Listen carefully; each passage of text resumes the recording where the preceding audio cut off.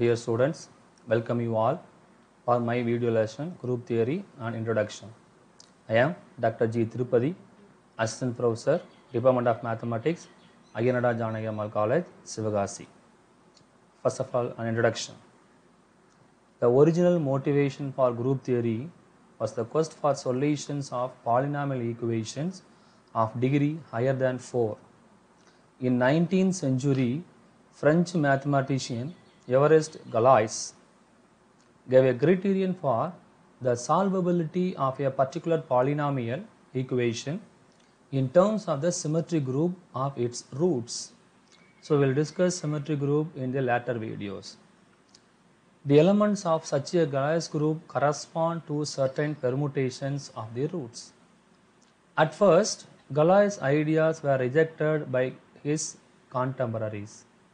More general permutation groups were investigated in particular by Augustin Louis Cauchy. Arthur Cayley's uh, and the theory of groups as depending on the symbolic equation theta power n is equal to 1 gives the first abstract definition of a finite group. With this introduction, you have to go to some preliminaries required for our group theory. First of all, what is mean by relation? Consider two non-empty sets A and B. A subset capital R of A cross B is called a relation or a binary relation from A to B. If an ordered pair A comma B belongs to R, ordered pair A comma B belongs to R, we say that A is related to B in the given relation and we write A or B, A is related to B. When we say that the relation is an equivalence relation, what are the conditions it satisfies? A relation capital R defined on a set capital S is said to be an equivalence relation if it satisfies the three axioms or three properties. One is the reflexive property. It says that for all A belongs to S, the set S, for every element A, for all A belongs to S, for all A belongs to S, A related to A. It is called a reflexive property. A related to B which implies B related to A is called a symmetric property. Then the third one is it is called a transitive. What does transitive means? A related to B and B related to C which gives A related to C is a transitive property. These three properties are satisfied, the relation R is to be an equivalence relation. For example, consider set capital A. It takes three elements 1, 2 and 3. R1, the relation 1 comma 1, 2 comma 2, 3 comma 3 that is A is related to A, 1 is related to 1, 2 is related to 2, 3 is related to 3 is reflexive. This relation is reflexive relation. Second, R2, 1 related to 2, 2 is related to 1, 3 is related to 2 and 2 is related to 3 is symmetric. The same for third, transitive. 1 is related to 2 and 2 is related to 1 which gives 1 is related to 1. This is transitive. So, the another example, uh, line L1 is parallel to L2 is another example for equivalence relation. In the set of all lines in the plane, the relation are defined by L1 related to L2. So, this is another thing. Then, function. What is the meaning of function? A function or mapping phi from a set capital A to a set capital B is a rule that assigns to each element A of capital A exactly one element B of B. So the set capital is A is called the domain of phi and B is called the codomain. Phi assigns B to A, then B is called the image of A under phi. The subset of B comprising all the images of elements of A is called the image of A under phi. Now, one to one function. Take the A. The domain minus 2, 4, 8, 13. This is capital A. 0, 5, 12, 18. This is capital B. This is a function. Not only a function, it is one-to-one functions. Every element having a unique image. Minus 2, image 5, 4, the image is 0, and 8, 13. This is also, it is called, this is domain. This is codomain. Now it is called a range. Every element having inverse. So, and also this is not one-to-one. Then take this C and D. Then on to function. Surjection. Every element of B have a image, pre-image, have a pre-image. This is an example for onto function. Then what is binary operation? Let G be a non-empty set. A binary operation star on G is a function that assigns each ordered pair of elements of G and elements of G. Binary operation star from G cross G to G is a function that assigns each ordered pair of elements of G. Once again, an element of G, it is binary operation. Now, consider this. Um, the set of integers is Z. Do you know the integers number system? Minus 4, minus 5 and so on, minus 3, minus 2, minus 1, 0, 1, 2, and so on. Consider the addition. Set of all integers with the addition. The following properties are satisfied with respect to addition.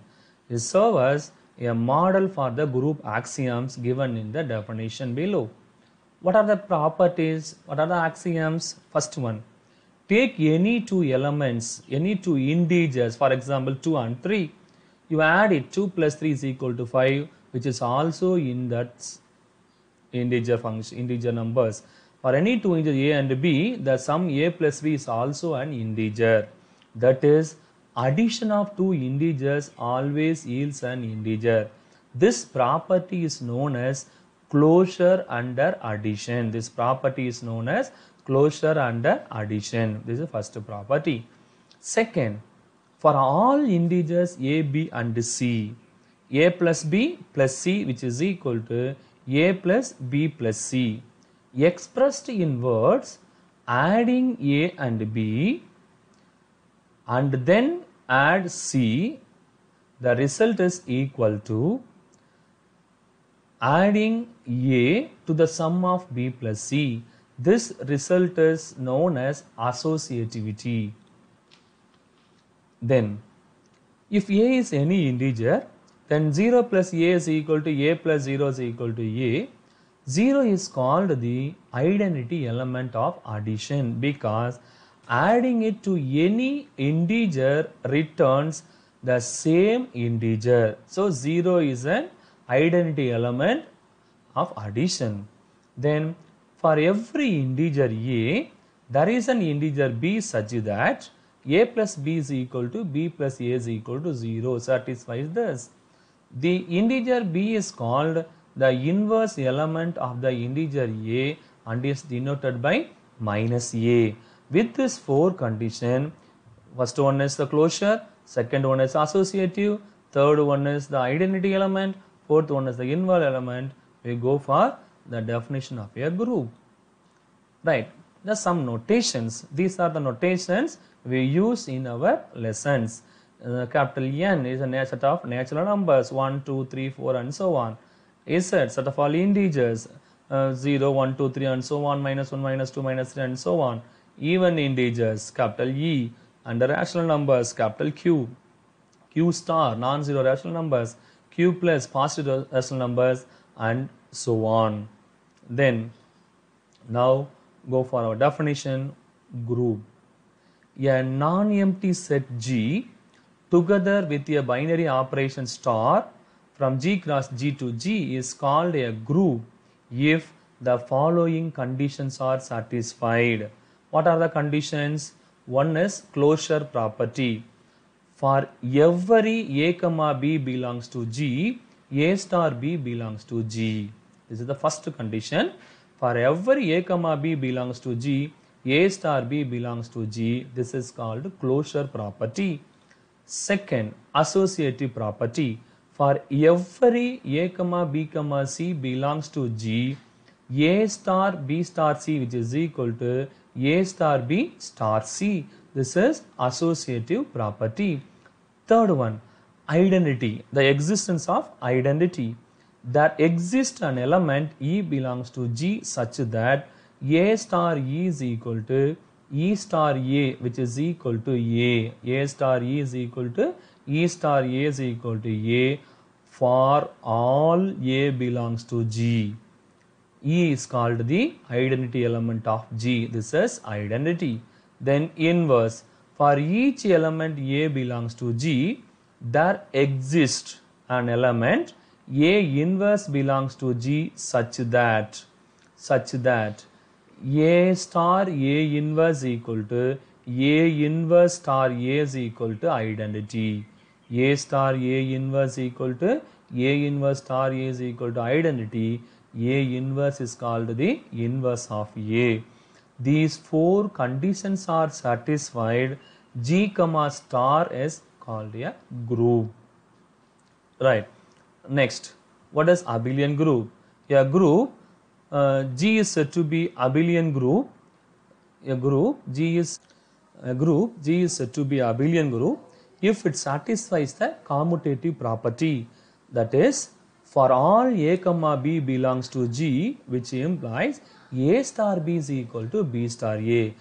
In a group G satisfies this commutative property then it is said to be abelian group. But in general abelian group satisfies the five axiom. One is closure, second one is associative, existence of identity, inverse, then commutative property all the five axioms are satisfied, G comma star is said to be abelian group. Then semigroup. A group G is said to be semigroup if it satisfies closure and associative property. Then monoid. A group G is said to be monoid if it satisfies the three axioms closure, associative property and the existence of identity. With these concepts, we make some remark. What is the remark? Abelian groups are groups. Groups are monoid and monoids are semigroup. The inverse concept is in a semigroup, two conditions are satisfied. One is closure, another one is associativity. It is semigroup. You add one more condition that is existence of identity, it is monoid. You add one more condition, monoid goes to group, existence of inverse in a group you add commutative property it is an abelian group. So abelian groups are simply a group groups are monoid and monoids are semi group right with this go for some examples. Uh, set of all integers rational numbers real numbers and uh, complex numbers are abelian groups under usual addition. The set of all integers already discussed earlier the same way the real number system with respect to plus and the complex number system with respect to plus are abelian groups. Then this subset 1 minus 1 i minus i of the complex numbers is a group under complex multiplication. For this you form a Cayley table. This table is called a Cayley table. The elements of first row and first column are the elements in this set then you take a multiplication. 1 into 1 1 into minus 1 1 into i. Fill up the all the columns. See this table. The elements in this table are belongs to this set. It denotes the closure. Then second associative condition is automatically satisfied. Third one identity. With respect to the multiplication the identity is 1 1 into minus 1 minus 1 1 into i is i Uh, 1 into minus i minus i 1 is the identity element. Then go for inverse. Each and every element of this set having its own inverse. The inverse of 1 is 1 the inverse of minus 1 is minus 1 the inverse of i is minus i. The inverse of minus i is i. So it satisfies the group axioms. Hence 1 comma minus 1 i comma minus i is a group with respect to multiplication. Third one, consider 2 by 2 matrices. Simply 2 by 2 matrices with respect to addition, with respect to matrix addition. Already do you know this concept matrix addition in the lower classes? It is an abelian group. It satisfies the closure property. You take any two matrices, you add it, we get the same matrix. The elements belongs to capital R, the real numbers. Second, matrix addition is associative. Third one, in 2 by 2 matrix, with respect to addition, the identity element is 0, 0, 0, 0.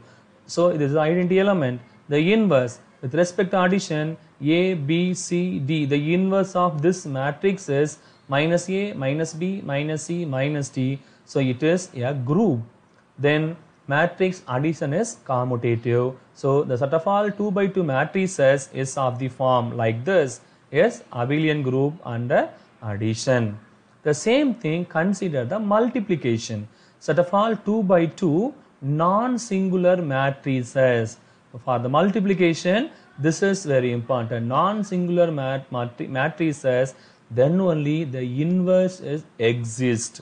So 2 by 2 matrices, you take 2 by 2, 2 matrices, the multiplication, we get once again 2 by 2 matrix, matrix, the elements belongs to R. It is associative satisfied. Identity with respect to multiplication, the identity element is 1, 0, 0, 1 identity. Then inverse, because of non-singular matrices, inverses exist. Do you know that capital A inverse, the inverse of a matrix is 1 by determinant A into adjoint of A. Determinant A will exist only for non-singular matrices. That's why is given the set of all 2 by 2 non-singular matrices A, B, C, D where A, B, C, D belongs to R is a group under matrix multiplication. But matrix multiplication is not commutative. Commutative property not satisfied. AB not equal to BA, so it is not an abelian group. A simple example for abelian group, non-abelian group is set of all 2 by 2 non-singular matrices. The entries from real number system. Right. Next example. Capital N, the set of all natural numbers is not a group under usual addition since there is no identity element. With respect to addition, the identity element is 0 but 0 doesn't belongs to n so it is not a group. In similar manner, q star non-zero rational numbers, non-zero real numbers under usual multiplication are groups. Under usual multiplication are groups because 1 is the identity element with respect to addition and the inverse of A is 1 by A. So, Z is not a group under usual multiplication since 1 by A doesn't belongs to Z. So, Q star and R star are the usual multiplication or groups. Right, with this example, go for some properties of the group some one or two properties, some interesting properties. Let G be a group and take A comma B belongs to G then. So we know that group G contains identity element. So in the group G identity element is unique. Only one identity element will be there.